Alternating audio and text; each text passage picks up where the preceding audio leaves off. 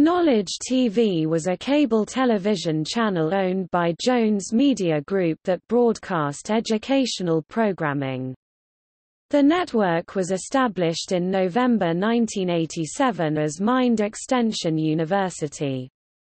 Through a partnership with more than 30 colleges and universities, accredited college courses were broadcast.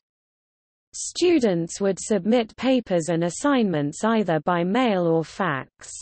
By January 1997, the network was renamed Knowledge TV, and by that time it was carrying several programs dealing with new media and Silicon Valley businesses, including new media news from KRON TV in San Francisco, and many computer education programs such as Stewart Cheifet's Computer Chronicles.